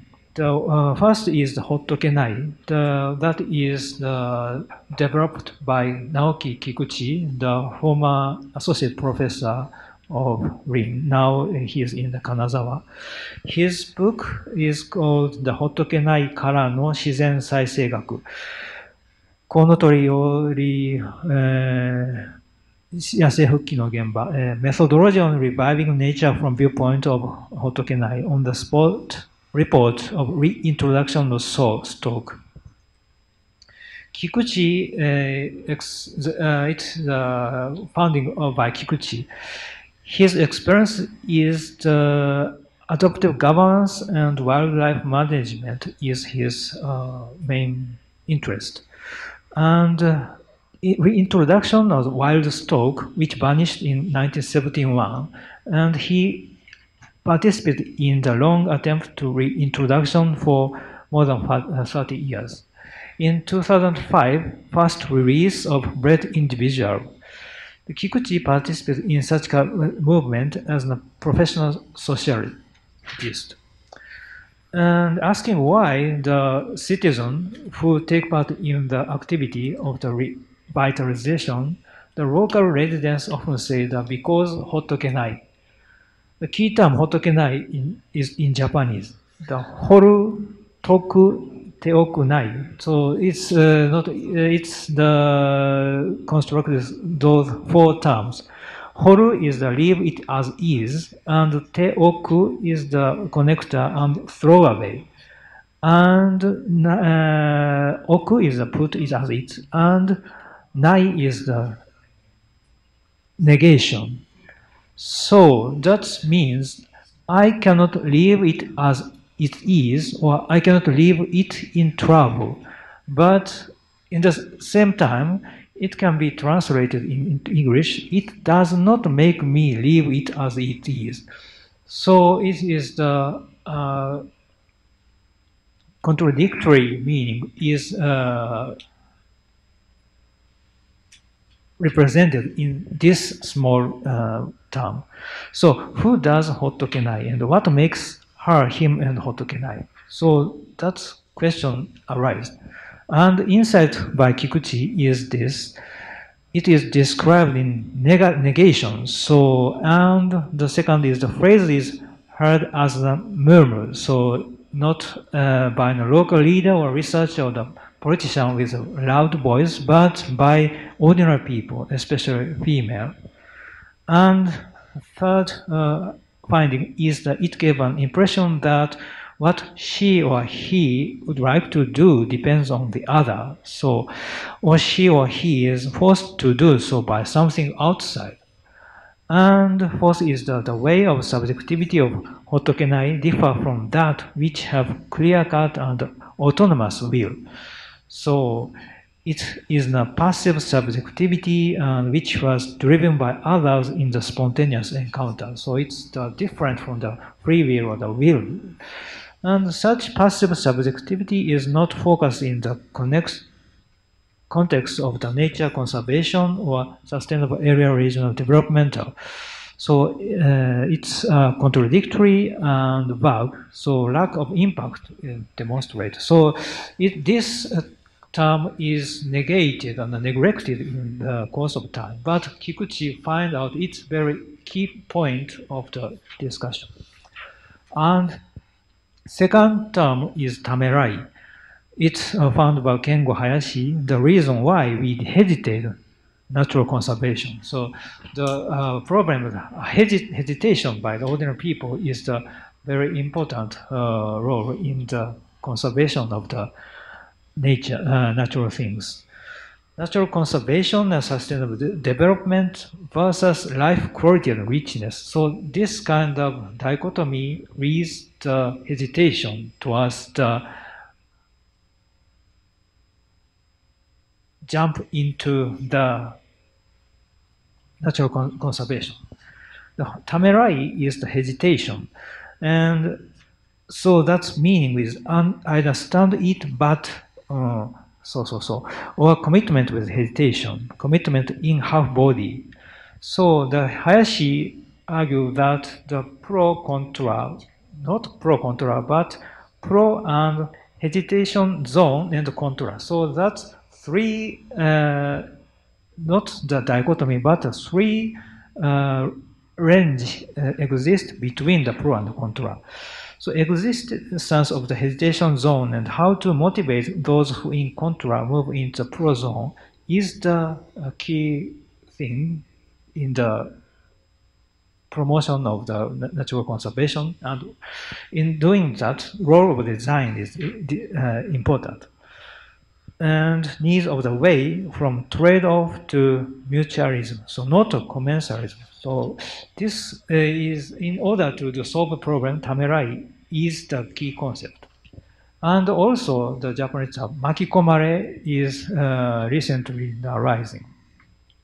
I argue that the, in uh, uh, this term, especially I found that the anthropologist in natural disaster or the regional development activity. So often the, such kind of anthropologist is involved in the so, uh, social context in which he is doing the field work. So the happen to be there and incidental commitment is often observed. And in such uh, uh, procedure, the, they often use that makikomare. So makikomare is be in, be, being involved with not uh, intention. So I have been involved without my intention. But in doing, uh, in saying that, why, uh, whom, and which, by which is the problem. So the thinking about that, the, we are uh, remembering that the Japanese language often have uh, nuance of the persec persecution complex, the higai moso. Often Japanese term says that matasareru instead of matsu. So matasareru is forced to wait, and matsu is a wait. So Japanese person often use I was forced to wait for the bus instead of I wait for the bus. Or nigeru, nigerareru. So nigeru, for, for example, fiancé or future employee. So in that uh, usage, the Japanese often said that fiancé escaped from me.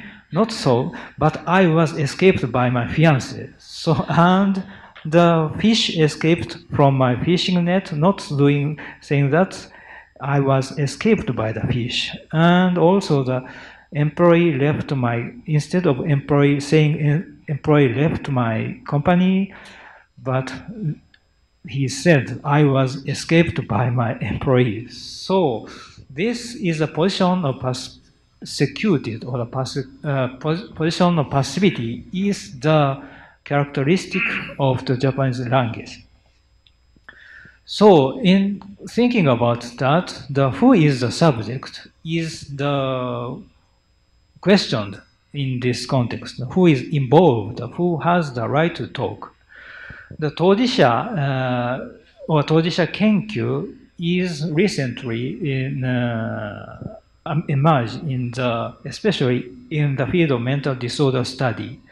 Tojisha is the who uh, means that the person who are concerned, and Tojisha Kenkyu is the self-support research. In that research, the person who are suffering from that kind of disease himself or herself research themselves. So in this research, the motto is we know ourselves best and overcome the separation between observer and observed, or researcher and object, or doctor and patient, such kind of uh, new method of uh, subject or new method of uh, research is uh, emerging. So thinking about that, the what is the subject what is the object is the uh, should be re-examined. And uh, to thinking uh, to think about that, this uh, book about voice of middle is useful.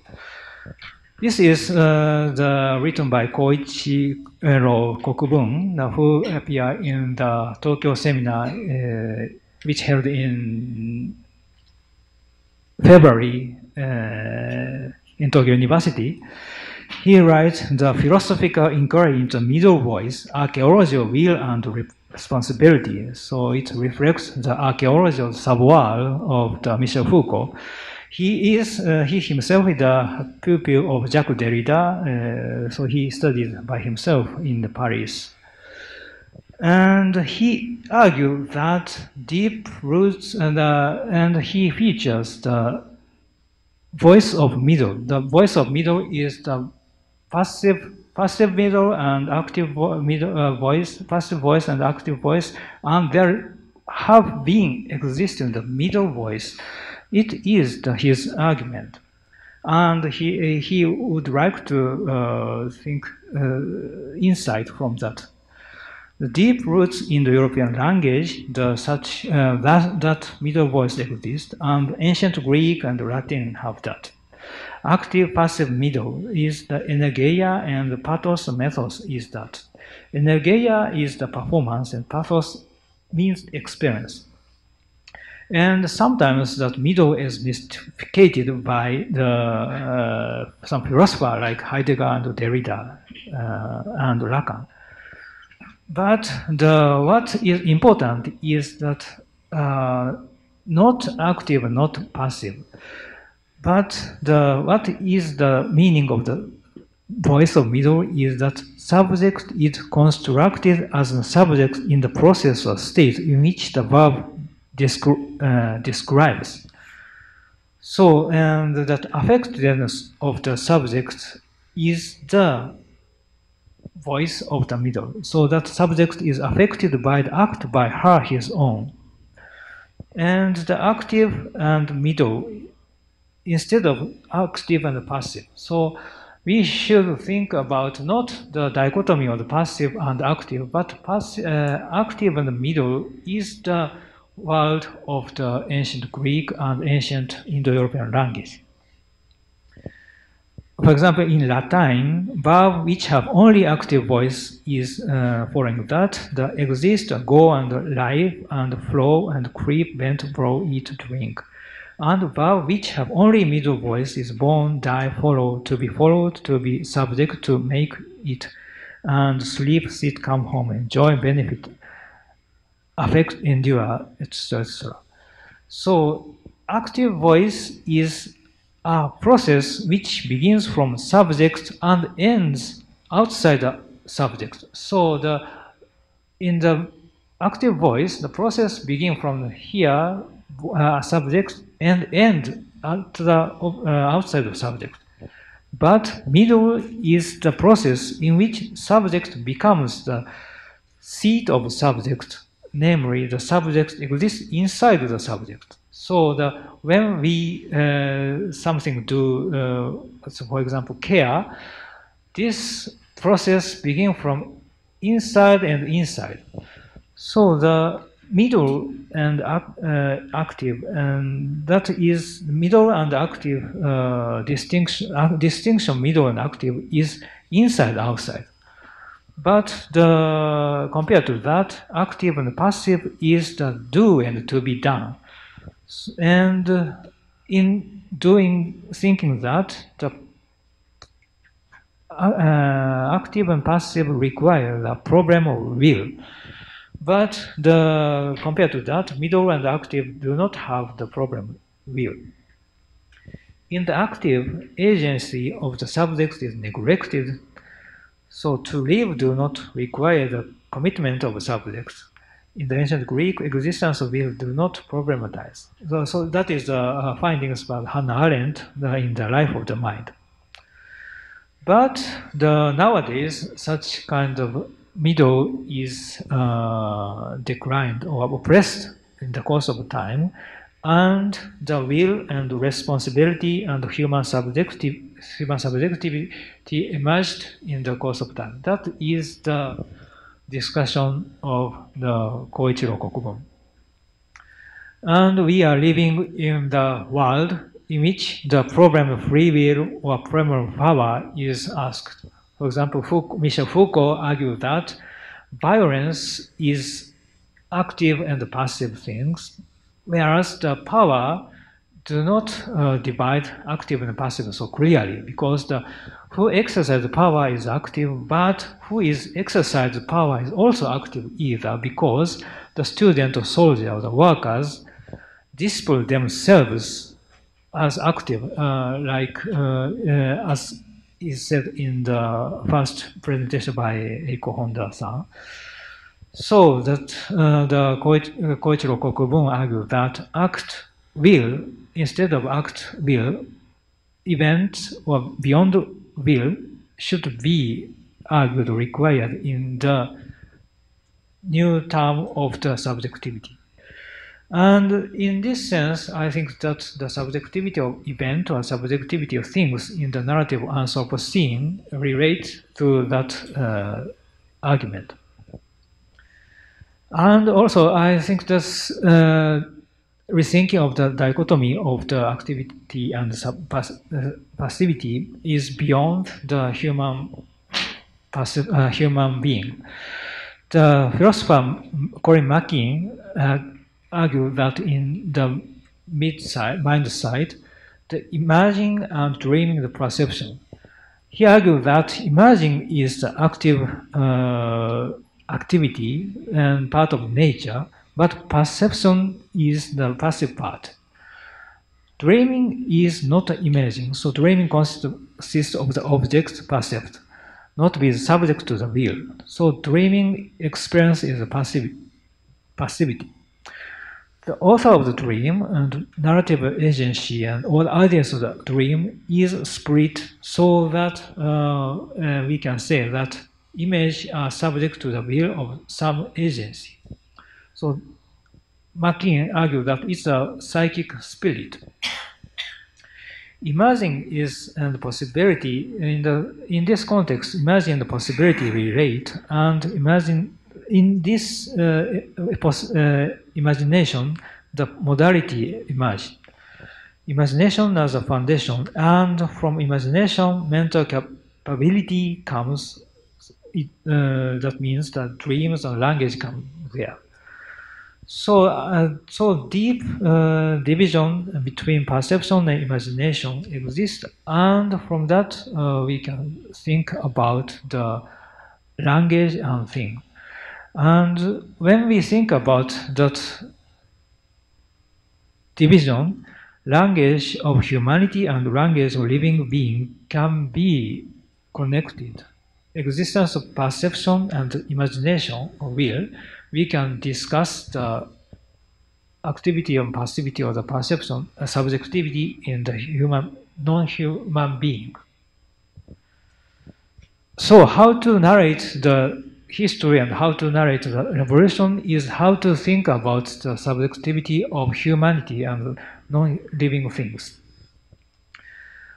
The dynamics of history is the dynamics of the human act history is the normally the act of humanity and the individual act of history. The Karl Löwith, the German philosopher, argued that the dynamic of history is the process in which the act is acted by humanity.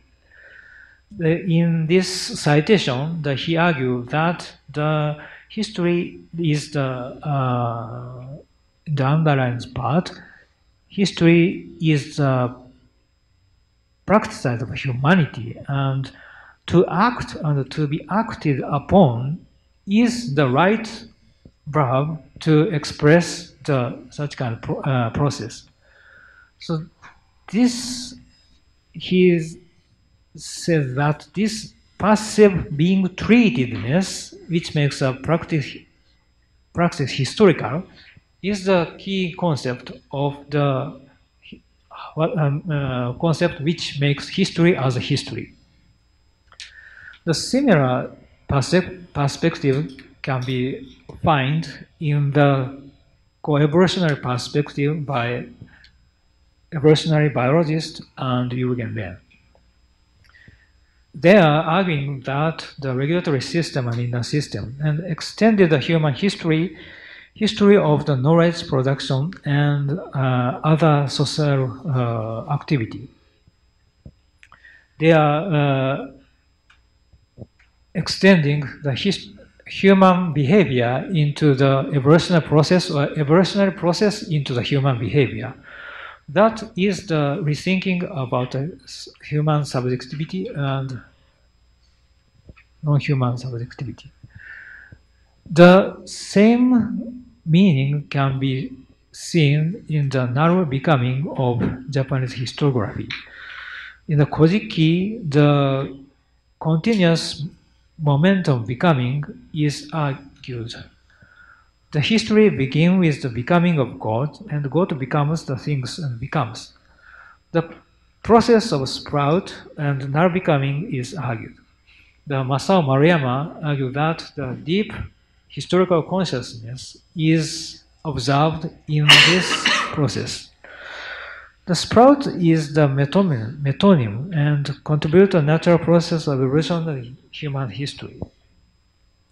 But at the same time, that becoming is the key concept which utilized the auto-fascism regime in the during the Second World War.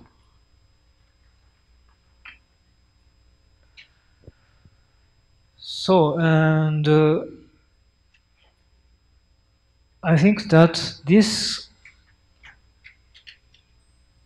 process can be defined, redefined as the energy dynamics in terms of dynamics, dynamis and energia. Dynamis is uh, and energia is the basic concept which consists of Aristotle. They think that things appear the process of becoming. The dynamis is the translated in possibility, and energia is translated in the actuality. And from the dynamis into the energia, the things become, and so he is thinking about that the process of the energia is the one key concept of the becoming. And also he is uh, talking about entelecheia, which has aim, whereas energia do not.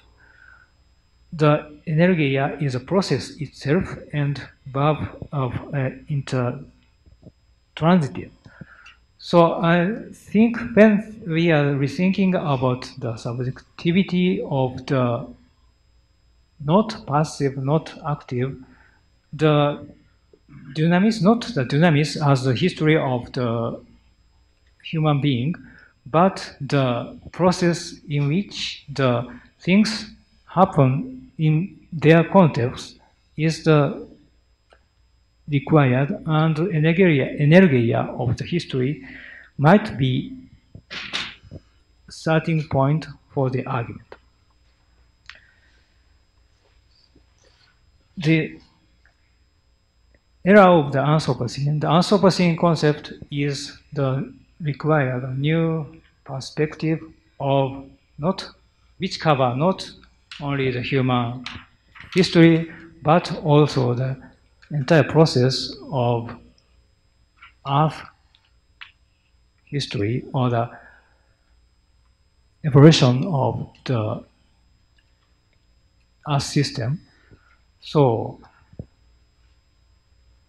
the revision of this dichotomy of passivity and activity, and instead of that, energia might be useful for this thinking. So uh, it's uh, not so uh, well organized presentation, but I finish my presentation here. So thank you very much.